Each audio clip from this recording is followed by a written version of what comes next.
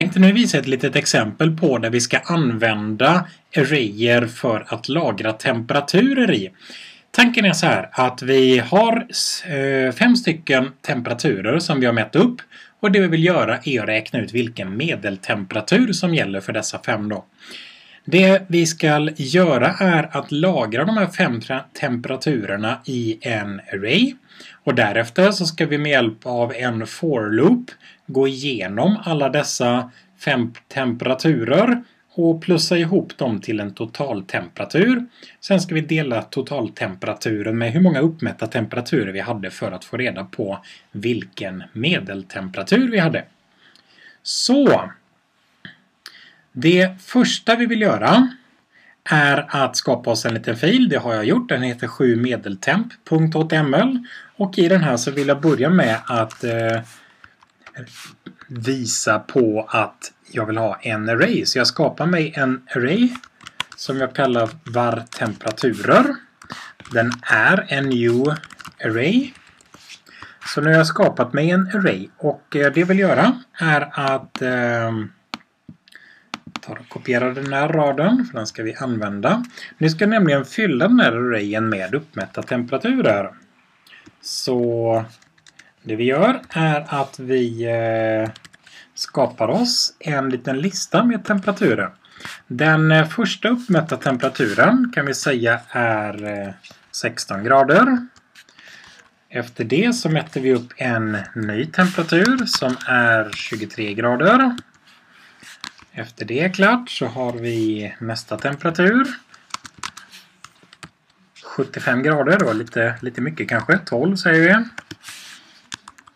Kanske inte ska bara slå näven på tangentbordet och se vad vi får för temperatur utan kanske ta något lite mer realistiskt än så.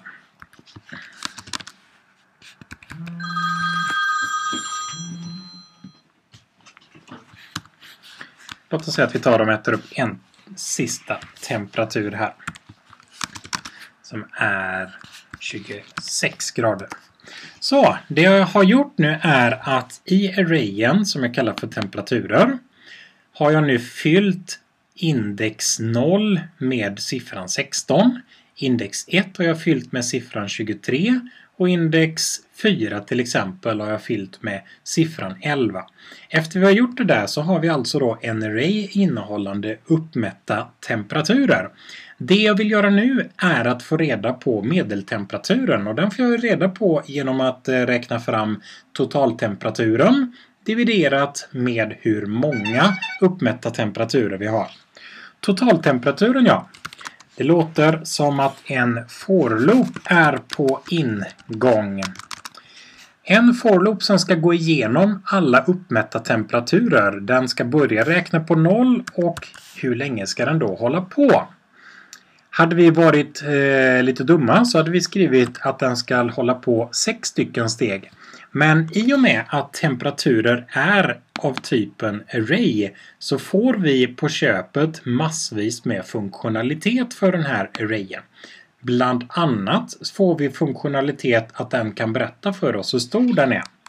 Genom att säga temperaturer.length så berättar den tillbaka hur många stycken som finns i den här arrayen.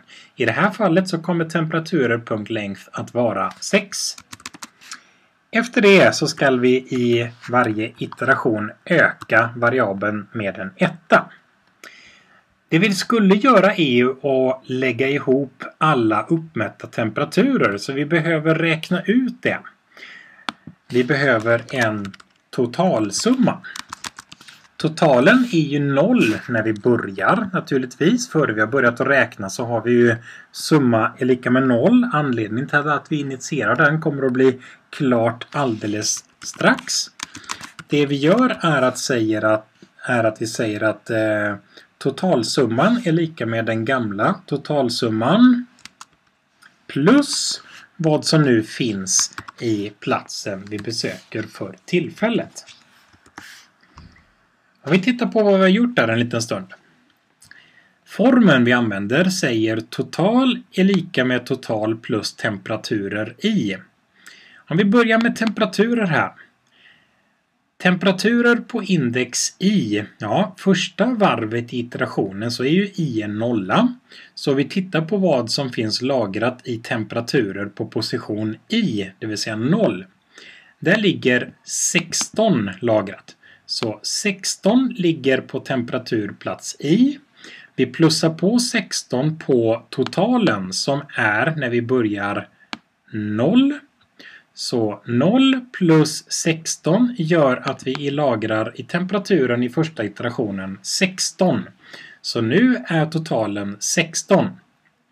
Vi kommer fram till andra iterationen. Nu har i ökat sitt värde att bli en etta. Vi tittar efter vad som finns i index 1, det vill säga temperaturer på plats nummer 1. Där ligger temperaturen 23.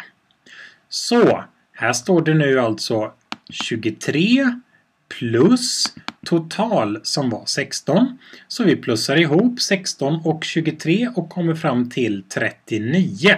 39 sparar vi undan som total och vi kommer fram till tredje iterationen när i har hunnit att växa sig fram till en tvåa. Så vi plussar på 12 till 39 och så vidare.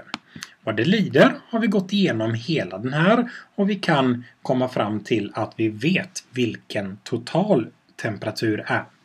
Vi behöver räkna ut medeltemperaturen så vi skapar väl oss en variabel som just hanterar detta.